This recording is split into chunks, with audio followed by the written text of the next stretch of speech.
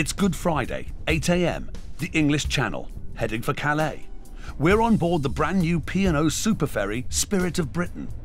It's immaculate, but that's about to change. It's breakfast time.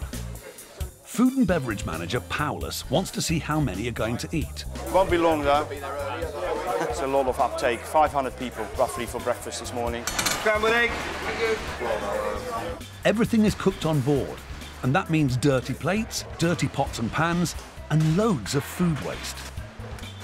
Uh, I think in the galley they've got 13 chefs on today, two KPs. KPs are kitchen porters like Shane, constantly cleaning behind the scenes. Shane's there to soak up the grime. Obviously, you've got you know 2,000 plus passengers coming on. It's going to have a lot of washing up to do. The diners are busy too, generating 500 dirty plates, knives, and forks. Goes in one way. They'll also make hundreds of visits to the 80 toilets and fill the bins with rubbish. On deck, the traditional sight of British men in dresses drinking lager. We're going to Eindhoven. For what reason? To get pissed. Paulus wants to make sure things won't get out of hand. Just had to tell the chap there not to undress any further. In the cafeteria, breakfast is ending, so everyone switches into clean-up mode. It's like the locusts have been in, isn't it? busy, busy, busy, clearing up, washing up, getting ready for the next trip. If you can't stand the heat, don't work in this kitchen. Constantly on the go. Busy day in the office. Every minute's accounted for, so Shane doesn't need any unexpected jobs. See, someone, someone's dropped, dropped something, not cleared it up. The big cleanup hasn't even started. The waiters, the car deck crew, the shop team, and even the boss are about to change jobs and become cleaners. For 90 minutes, nearly 2,000 passengers have been making a mess. The crew has just 45 minutes to make the Spirit of Britain look like new.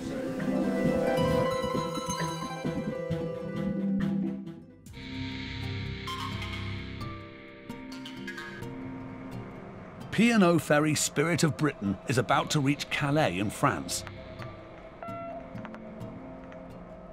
Nearly 2,000 passengers rush back to their cars, leaving behind their grime. The crew has just 45 minutes to make the ship look like new. Everyone gets stuck in. Let's go and get my Hetty Hoover out now. On trip, Janine does perfume sales. But like everyone else, she's a cleaner now. They've got to move fast. Well, this is turnaround cleaning now, all hands on. That includes the boss. I just firefight wherever necessary. The kitchen did 500 breakfasts on the way out. It needs a full clean.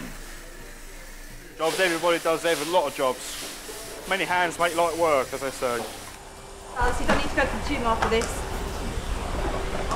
Down on the car deck, there's even less time for the cleanup. We tend to have maybe 10 minutes, if that. With 180 trucks on board, the freight driver shower block is a top priority. This is a chemical solution. It just gets um, the grime and the body fat off the walls. And then we just hose it off with um, some water. The toilets have their own cleaners. Once, once you get going, you just go on and go on. One of the toilets is blocked. With up to 2,000 toilet visits on each trip, it's bound to happen. And like everything else, it has to be sorted before they sail. Departure is less than half an hour away. Probably overuse of paper.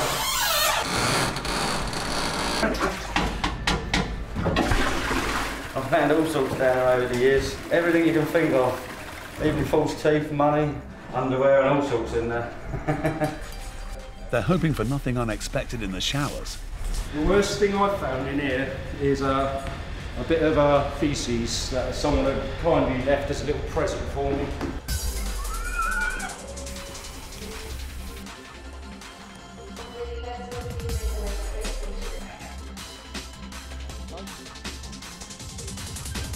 The next 1,000 cars are already driving on board.